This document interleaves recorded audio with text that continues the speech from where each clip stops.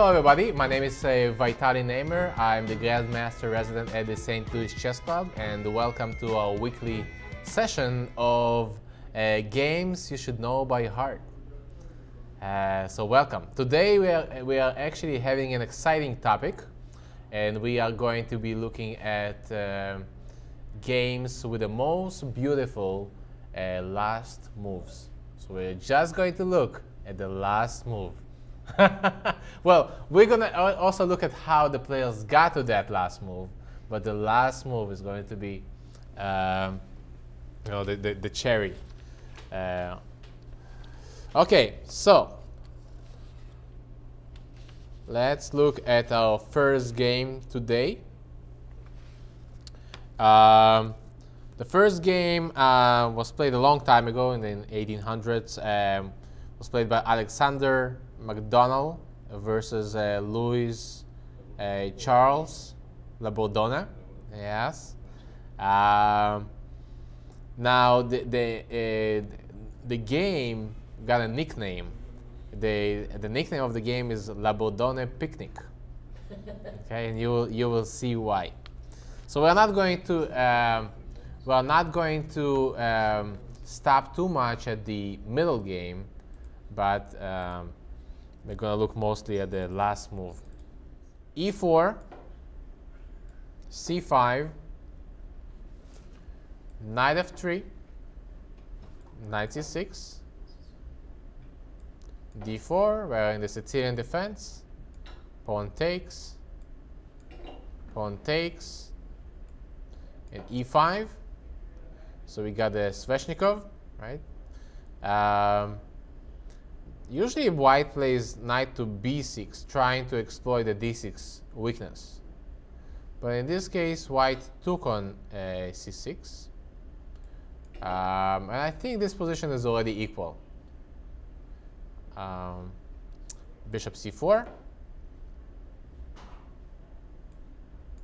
Knight f6.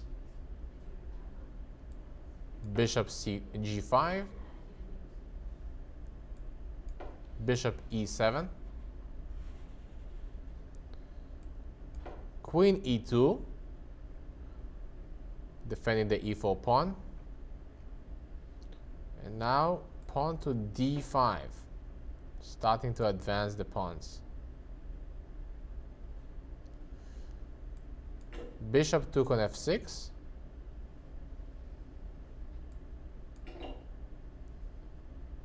Bishop takes on f6. The bishop went to b3. So, so far, uh, white got a slightly, uh, black got a slightly uh, better position.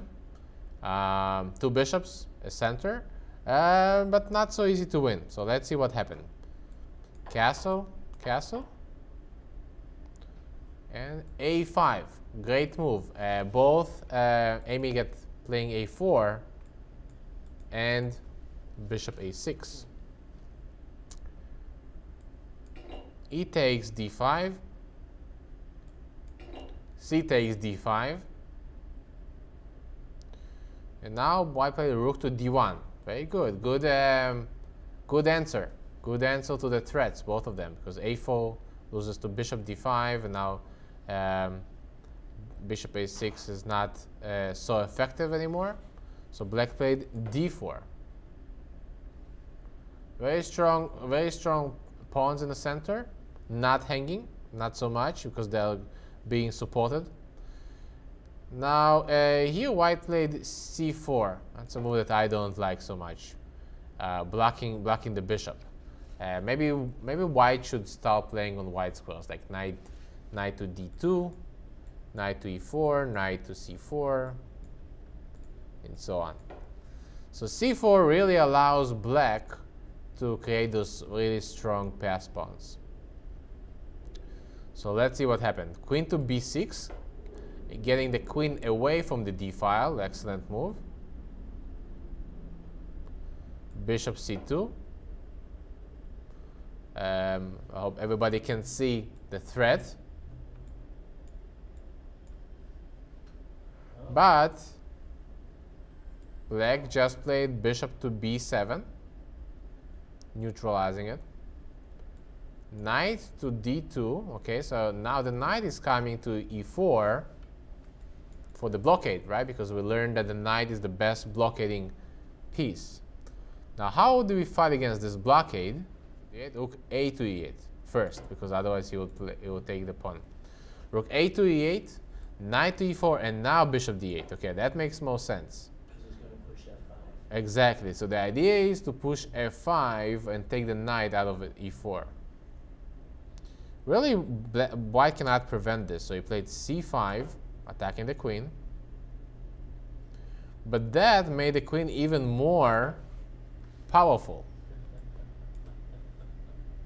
Okay, very uh, nice diagonal battery with the bishop and the queen. f3, bishop e7, rook ac1, f5, queen c4 check, king h8, bishop a4, queen h6, and now we start with the tactics. Bishop takes e8, f takes e4,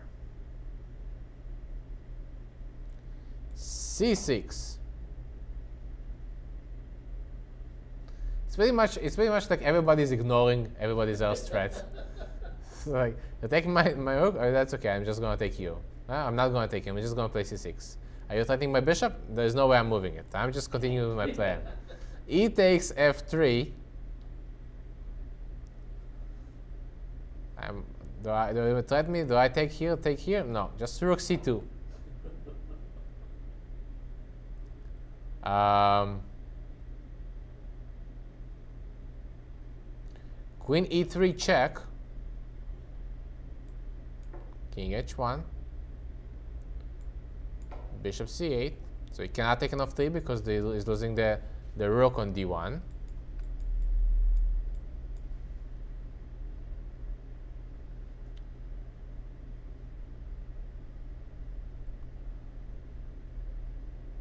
Bishop d7. f2.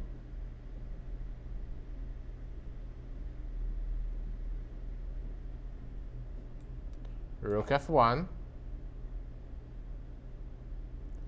d3, and now the pawns are marching, the, mar the march of the pawns. Rook c3, bishop takes d7, pawn takes e4. Well, what do we have here? Let's see. How do we, let's count the, the pawns. So it looks like black has a bishop and a pawn versus the rook.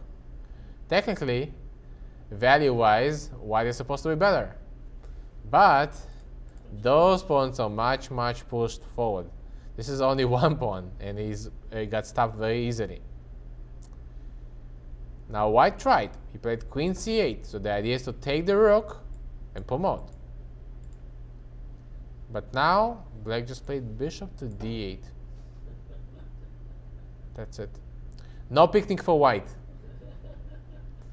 But, so white moved back, but black is the one who is doing the party now. Queen to e1,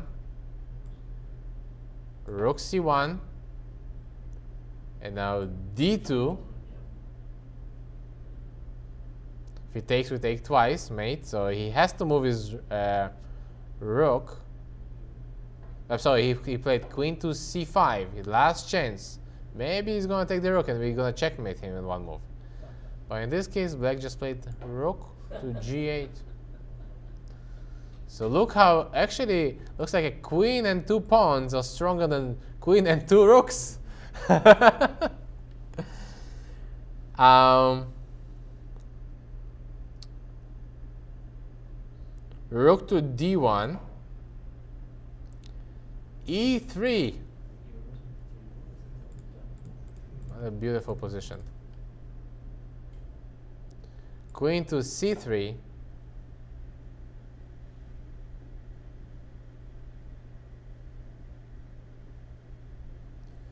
And now, queen takes on d1. Rook takes on d1. Push that And e2. Our last move, e2. Three pawns on the, on the seventh, they're stronger than the rook and queen. So if somebody asks you what's the value of the of the if uh, is the queen better than the pawn, three pawns? If somebody asks you, you have to say, well, it depends. Depends on the position, because here the just three pawns are better than a rook and a queen. So three versus uh, what? Twelve? No, more even. Thirteen? No, fourteen. Now this one is uh, Levitsky versus Marshall. And again, we are going to be playing Marshall. And the nickname for this game is the Shower of Gold. Uh, so if you know, so the story says, um, so it's not it's not clear that if if uh, the legend is if the winning of the queen triggered the shower of gold coins is true, but a Marshall said that the spectators threw gold pieces, uh, coins, on the board uh, because the move that he made, his last move was so brilliant. Um, now, uh, although one reporter says that actually his wife stated that it was Caroline, that it wasn't the showers of gold, but uh, just a shower of pennies. Good wife. uh, and another guy says that uh, the people were just paying off their wagers. so let's see what happened. Why is this uh, last move uh, triggered those uh, coins? I, wi I wish I wish I would be throwing some some coins in my games. Why not? Okay, so d4, e6, and e4, d5. We transpose to the French defense. Knight to c3. Here the black has lots of options, taking a pawn, knight f6, bishop b4. But Marshall chose this variation, c5, which is also an option. Although I don't think that this is uh, one of the main lines because here white can uh, just take and create a, um, an isolated pawn. So white played knight f3, knight c6. He took on d5. Pawn takes on d5. And here white played bishop to e2. I think this, this move is slightly passive. I would say bishop to b5 looks much more natural. Uh, bishop e2, knight f6, castle, bishop to e7,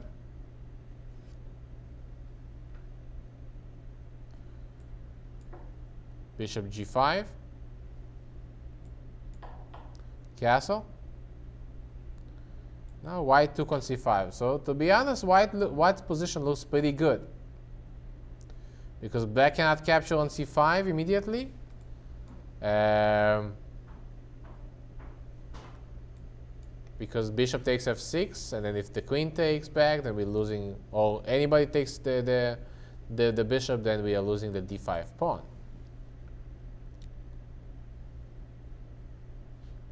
So black had to play bishop e6 first. Knight to d4. Bishop takes c5. Knight uh, takes on e6. This this move is probably not one of the best in the in the game because really a white's advantage is about this isolated pawn and this nice knight. Uh, we do get two bishops, but on the other hand, black gets the support of his pawns in the center. Um, bishop g4, queen d6, bishop h3, rook a8, queen d2, and now bishop to b4. Amazingly, uh, just just four or five um, moves ago, I would choose white, but here I would actually start choosing black. Suddenly, all of black's pieces are very well positioned. There's harmony between the pieces.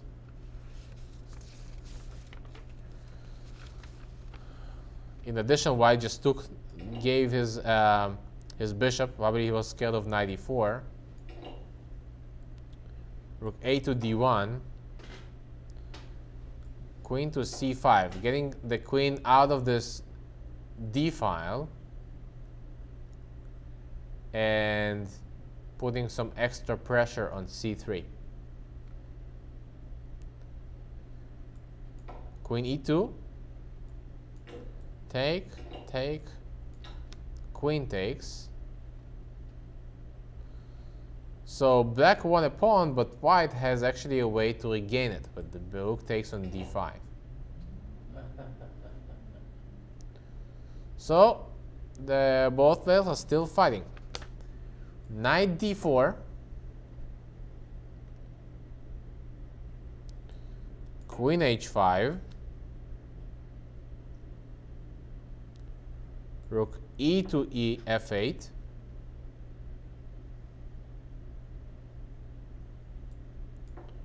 rook e5. And now black starts arra arranging his pieces for the final move. So he starts with rook to h6.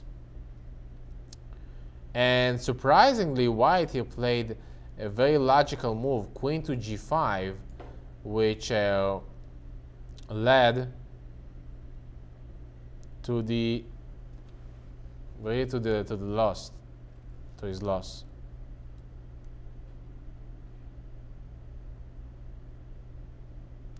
Because now the combination is rook takes on h3.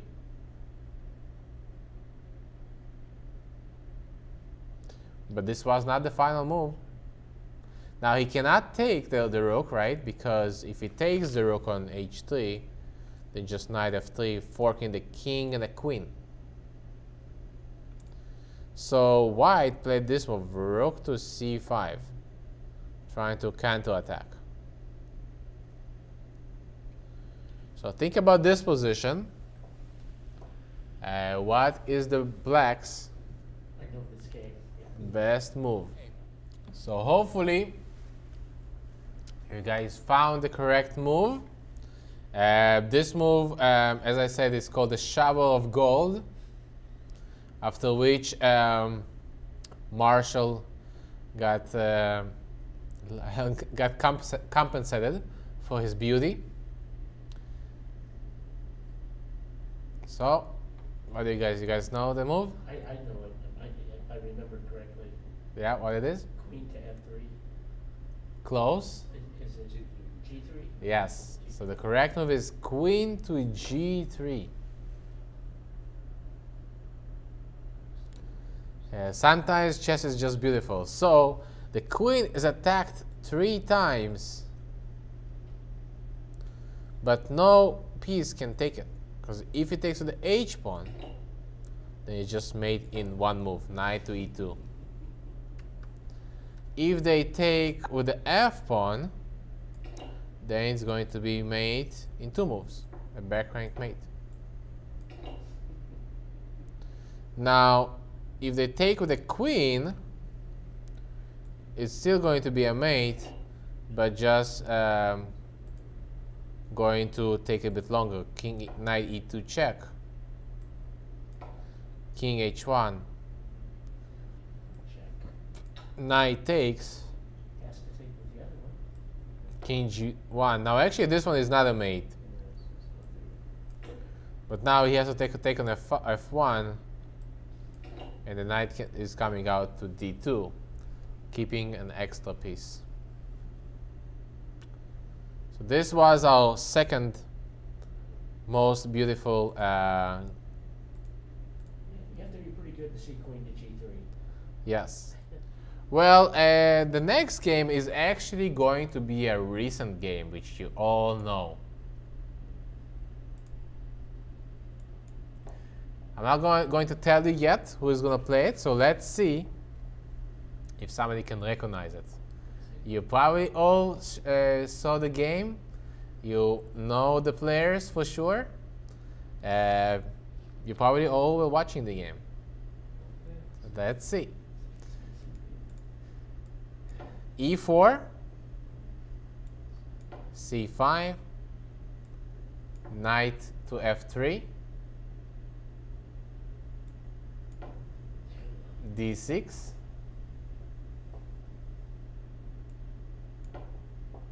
D4,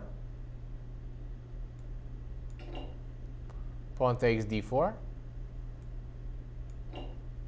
knight takes d4, knight f6. So black is trying to play the, the Najdorf. Here the regular move is knight c3, but uh, because it was a rapid game, white decided to play f3. Oh, Yes. Very good. So this is the last game of the uh, last World Championship in 2016. Uh, Magnus Carlsen against Sergey Karjakin, the 16th game. So let's see what happened. E5. Knight to B3. Bishop E7. C4. I like this move. Playing against the D5. C4, A5, aiming at A4, taking out the knight. Bishop E3. A4. Knight C1. Hmm, mysterious move with the knight. Let's see what the knight went after. Castle.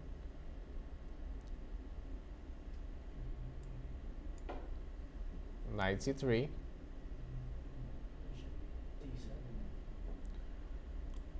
Queen a5. Now the bishop might go to d7, but he might go to e6. So black doesn't really know yet where he wants to put the bishop. Okay, here was queen d2 first. Knight a6, bishop e2, knight c5, castle, now bishop d7, now rook to b1,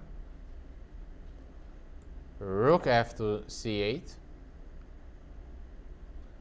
b4, brave move. En passant, pawn takes. Now the threat of, of b4 is too strong, so black had to retreat and regroup with his pieces. Knight to d3. So basically white is um, keeping his edge, his positional edge. Knight to e6. Knight to b4. We have a very, very nice outpost here on d5. Once we get there, black is going to suffer. Knight b4, bishop c6. That makes more sense. Right, because now if knight d5 is we're gonna take twice with the bishop. If the knight takes, then knight takes. So we don't want to uh, give uh, this opportunity for black. So I just played rook f to d1. See, even even Carlsen is uh, you know, watching my videos probably and following the principles. Develop all your pieces first. h5 bishop to f1 very nice waiting move doesn't really do much but just in case covering the king um, it's also the rapid game so uh, it's good to give the, the your opponent some some time to think waste his time. h4. So the idea is that now black wants to play h3 and trying to weaken the white king's position. Queen to f2.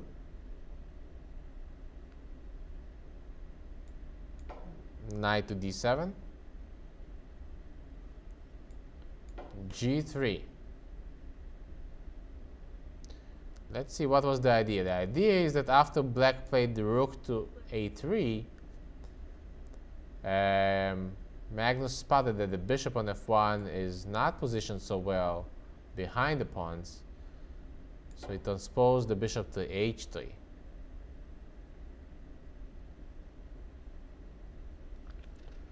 Rook c to a8,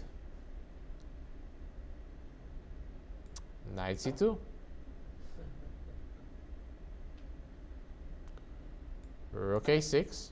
Two knights are doing a great job of keeping those black rooks out, aren't they? Exactly. So the knights are very powerful here. Black is going to have nightmares. Knight to b4. Rook to a5. Knight c2. Almost looks like a draw for. But uh, I guess uh, Karjakin felt very uh, confident. He did not play rook a6, he played b6.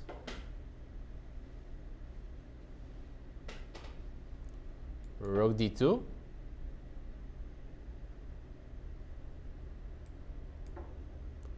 Queen c7. Rook b to d1. Piling up on d5 again. Exactly. Well, black is preparing for it. Bishop f8. He's retreating all these pieces, saying, okay, if you come to d5, at least I'm not going to get attacked over here. And now, Carlsen just grabbed this pawn on h4.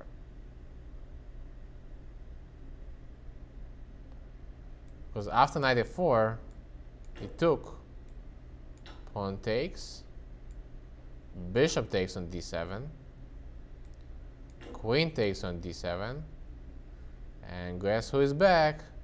The knight on b4. Great examples how, how knights sometimes actually can be better than the bishops, right? Because usually we say that the bishops are better than the knights, but not in this case, not when we have such powerful outposts, and especially again, we are going to play against this bishop on, on f8. Because this bishop on c6 is not so bad. Rook a3. Obviously, Karjakin is trying to um, get some counterplay from the queen side.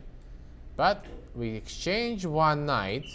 We exchange uh, the c6 knight. And now this knight comes to b5. Obviously, we have some option where to put the knight. The idea of knight uh, going to b5 is that after Karjakin took on b3, knight came to d4, forking. On the other hand, if you don't take on b3, you're probably going to lose the d6 pawn at some point. So queen to c4, at least he got two pawns for for the for the rook, but still this bishop um, is not so good. Actually, if it was black to move here, d5. yes, that's correct. Black would probably play d5. Sometimes we want to sacrifice a pawn just to develop a, a stronger pieces. So Carlsen played queen e2, bishop e7, king g2, queen e6, h5. Rook a3 is still not so easy. I would actually I would say that um, right now maybe it's even easier for black to play because looks like black is, is more active. Our, our king is more exposed. But that's going to change very very fast because white played rook to d3 rook to a7. I'm sorry. Rook to a2 first. Rook to d2. Rook to a3, rook to d3. Now rook to a7. Rook to d5. Rook c7. So we see lots of rook maneuvering. Queen d2. Now after this move, probably white is already eyeing the d6 pawn, some sacrifices. Maybe queen takes f4. Queen f6. Rook f5. I like the fact that white is basically playing on all the white squares. Everything is on white, hmm. like checkers. Queen h4. Now we need to try to get rid of this rook on c7. So Carlsen played rook c1, rook a7, queen takes f4, check.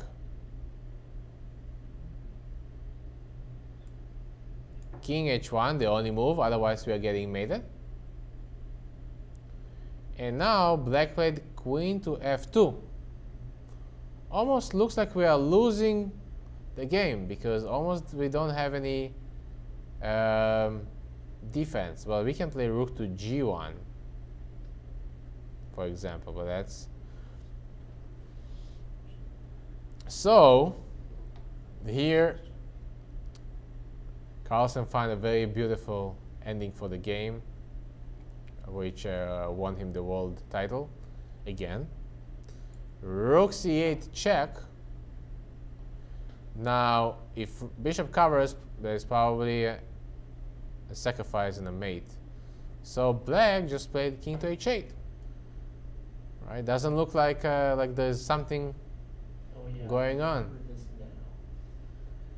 Looks like uh, rook h8 doesn't work. Rook takes f7. Actually, we black is the one looks like that that he is winning, right? But- yeah. A really genius move, which was Queen to h6. queen to h6 check. I was watching this game when that, that hit, my mouth fell open. I was like, what? Yes. Usually, usually when you see such such moves on the chessboard and you see that there's a result, usually you're like, wait a second, that's probably like this is not correct. Yeah. It's probably like a, they, they agreed to a draw or something.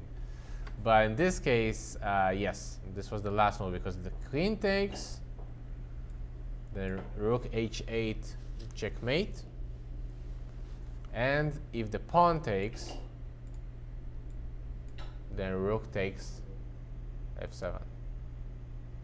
I was at the club watching it when that hit. I just went, Very, very, very nice finish for for Magnus, um, for his for his world championship title. Now we are going to look at um, one of the another world champion,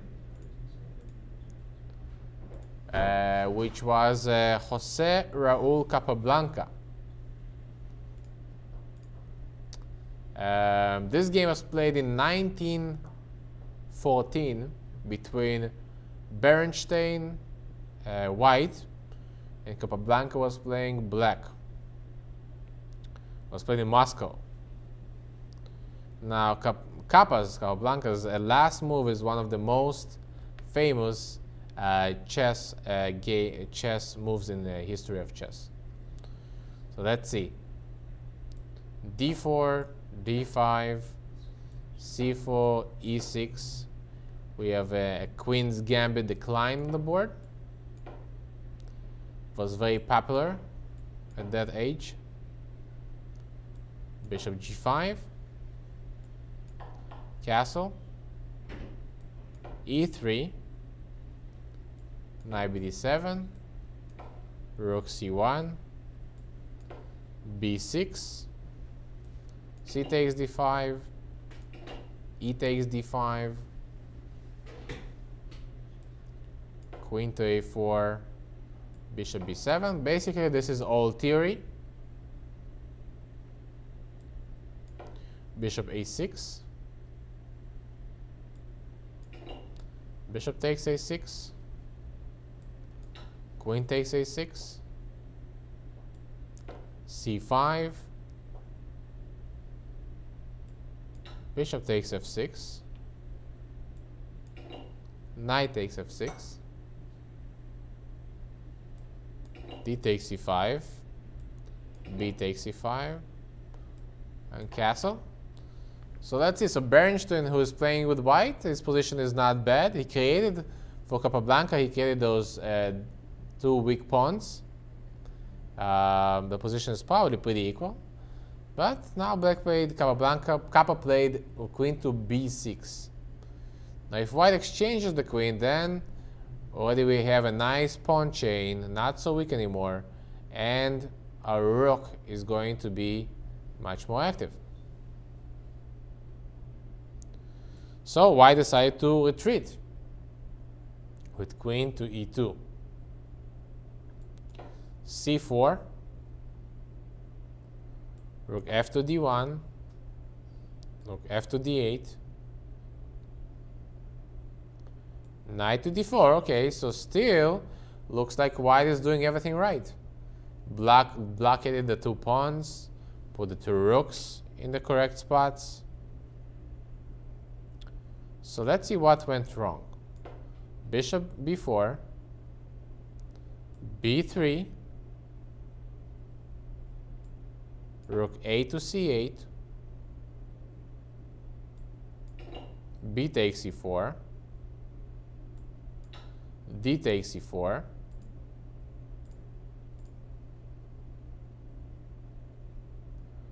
rook c2, maybe b, b3 was the weakening move. Looks like some, some pieces are hanging right now. Bishop takes c3, rook takes c3, knight to d5. Okay, so this pawn starts to get very, very dangerous. Rooks don't make good blockaders, do they? Exactly, yeah, you don't want to block the pawns with the rooks. Sometimes, sometimes you do. But when the knight, knight comes into attack, uh, that's not, not a good idea. Now, why can't he take on c4? Yeah, simple fork.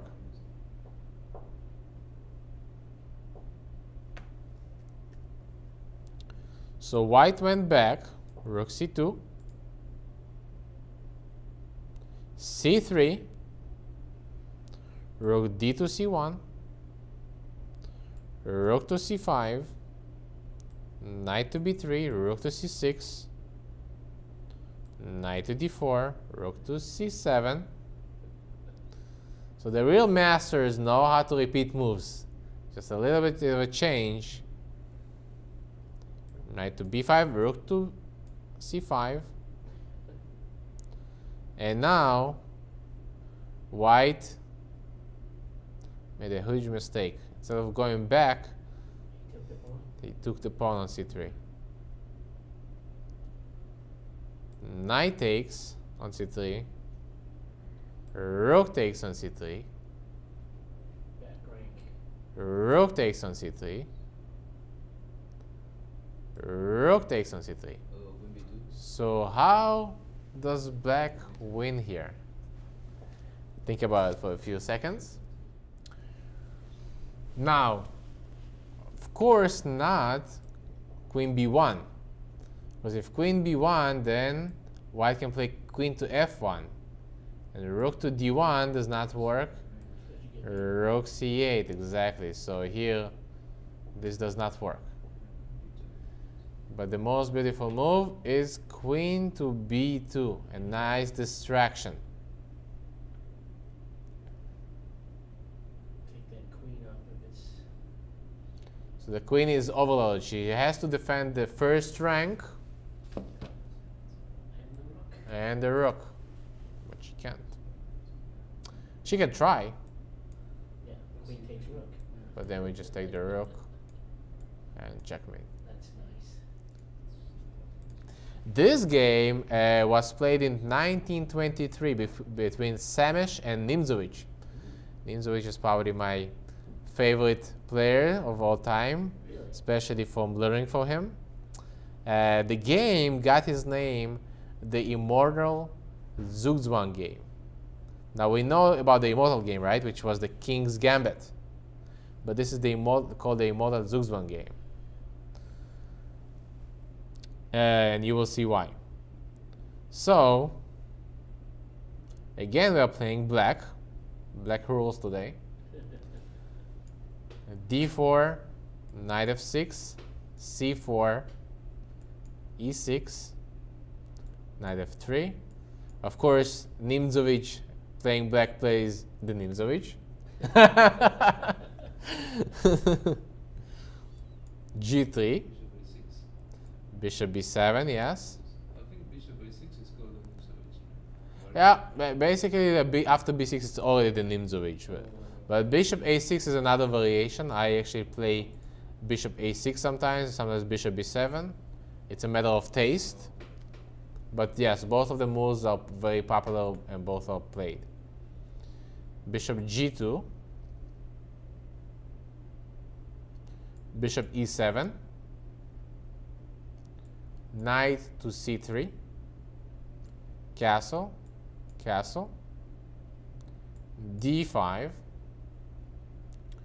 So a very similar structure to the game that we saw before.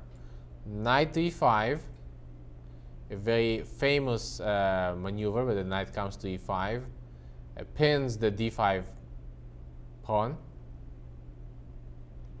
c6, That just looks like it just shuts down your bishop. Yeah, now white took on, on d5. Not sure that it's the, the best choice because I really like the, the, the fact that the bishop is turned off. So this really uh, gives um, eases black's game. White played bishop to f4.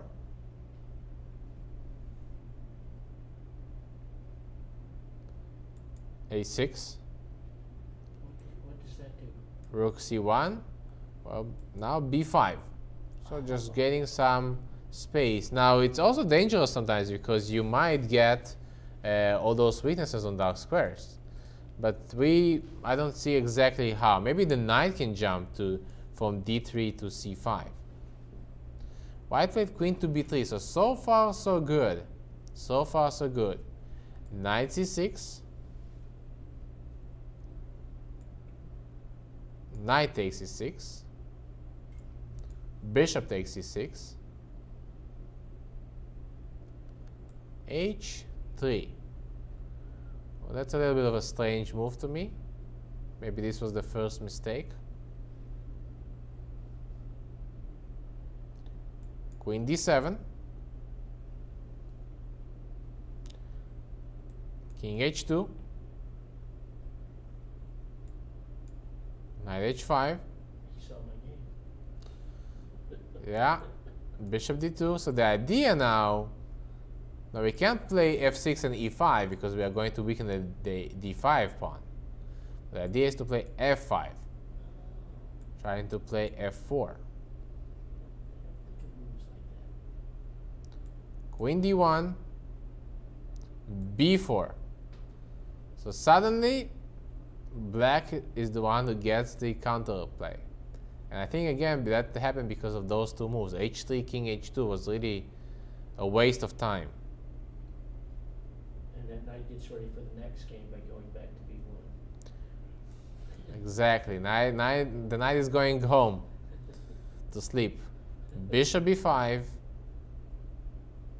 rook g1, bishop d6. The game for black is super easy.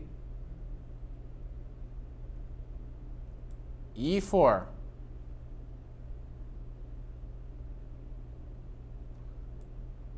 f takes e4. Nimzowitsch is sacrificing a full piece to get active pieces. Uh, this rook is a beast. Queen g5 rook a to f8, king to h1, rook to f5, queen to e3, bishop to d3. So black is, is like a python, right? Is uh, suffocating his opponent. Rook. Now the threat is rook e2, right? To capture the queen. Rook to e1. And now comes the final move in the game. I'm going to give you a few seconds to think about it. If rook takes g2, then rook takes g2. Right, f3, queen to g1. Now remember, I said this is called the immortal Zugzwang game. So he makes a move or he can't. So that's why I took some. Think about it, how can white move in this position? So his last move was A6. h6. That's like passing. Your turn. exactly. Now, why why is the why is this move um, so strong? Because why there's no moves. I- cannot move the bishop, right? Because I'm gonna lose this knight. This this is defended. If a3, he can try to play a3, but then I can even play a5. I can't move this rook because rook e2. I cannot move this rook. I cannot move the bishop. Um, basically, the threat is also rook to f3. So uh, white is a piece up for a pawn. Just a regular position. And he resigns. Because this is going to be my last, uh, my best last move. And actually, I think it's actually going to be better than h6. I think it, this game is actually going to top the going to the top of my list. The new immortals are coming. Exactly. Okay, I'm gonna do it quickly. Now this game, actually, I played again against Grandmaster um, Judah Gruenfeld, and because I won this game, that was part of the tournament that gave me the, my final IM norm. So it was very important for me to win. Now I was white, and I played e4, e5, and I played bishop to c4. So the bishop's opening. Knight f6, d3, knight c6, knight c3, bishop e7. The idea with the bishop opening is that now it allows you to play this move f4. It's kind of like the playing the safe style of the king's gambit. King's gambit, you still play f4, but you are sacrificing your pawn on f4. So pawn f4, d6, knight f3, castle, and now a, very important move, f5, to blockade to block all of his pieces. Knight a5, so he's trying to push with c6 and d5. I played bishop b3, knight takes, pawn takes, d5. Uh, black is playing very well. He's trying to uh, explore the center because my king is still not castled. And therefore I played queen to e2. This quiet move. Hoping that he's going to play d4. Uh, he played the rook e8.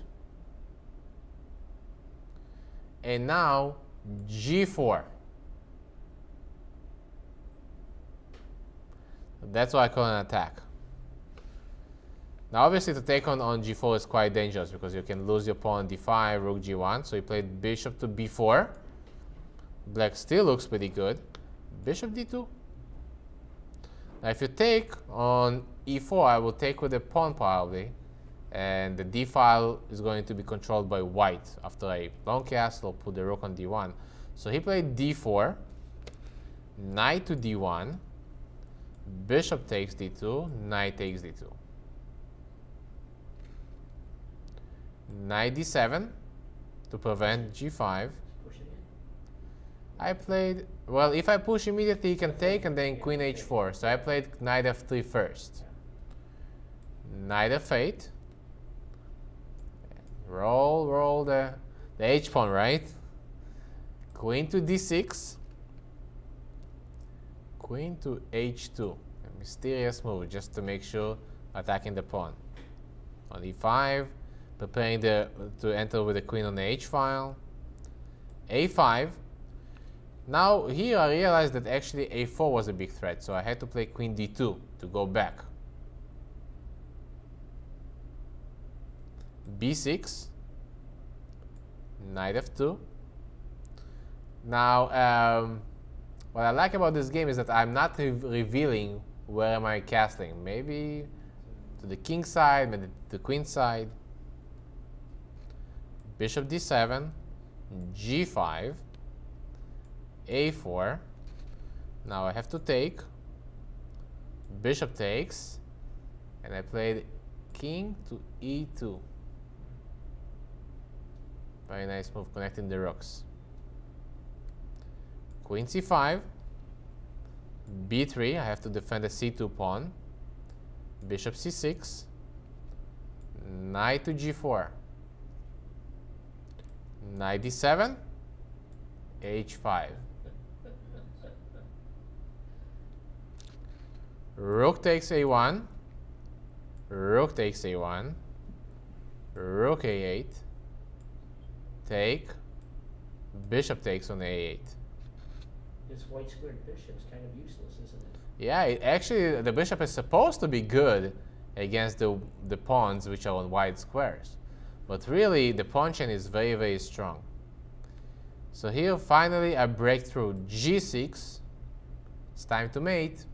It's mating time. h takes g6. Now, I could take with the f pawn, but I decided to take with the h pawn. f6. And now, one of my, my best moves, king to d1. So defending the pawn on c2 and preparing to invade with my queen. But that's not the end. King f8 is trying to escape. Queen to h2. Queen to e8. Now, if I play king, queen to h8, he's going to come to f8 and exchange queens, which I don't want to do. So I played queen to h7. Queen to f8. Knight to d2. Knight to c5. So how do we win this position? So let's go back here. So I played knight d2 just in case if he had, I was, uh, just in case black wants to sacrifice on e4. But how do we win this? How do we penetrate his position? It's not so easy. So from here, the game ended in two moves. Two moves. Two moves. Well, if I take on e5, he just takes. And f6, queen takes f6. So the hint for this position is number one, um, try to uh, focus on his weakness. Try to figure out what's his weakness and how can you attack it. Number two is how to improve your pieces. Which piece does not do much? Yes, the knight on g4. Where would you like to put the knight? Well, if knight h6, then yeah, that's correct. I, I don't have to take it. And even if I do, I don't know if I'm winning. Well, yes, because then there's g7. The problem is that knight h6 doesn't do much. So where is the weakness? H1, G3, and H5. Exactly. So I played knight f2. Now black thought, thought that I'm just I'm just gonna repeat moves. So he played knight to a6. So he, I assume that he expected me to play knight g4 and, and to make a draw. But, no, oh, now I revealed my secret plan. Knight to h1. Oh, that way that you can get your knight up and attack the pawn on G7. Yeah. And once he saw this move, he resigned. Wow. Yeah, that's awesome. You So can't stop it, can yeah, because there is not enough time. There is not enough time. I think that instead of knight to a6, he could play. Let's see, somehow to bring the knight here. So one, two, three, four. So one, two, three, four moves, and I'm doing one, two, three. I think it was in time. So if knight b7 instead.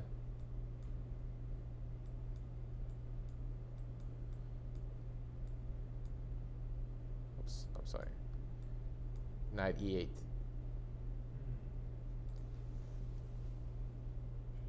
But he thought that I'm going to repeat moves, and after knight h1, well, yes, there is no way to defend the g7 pawn after the pawn falls, so does the game.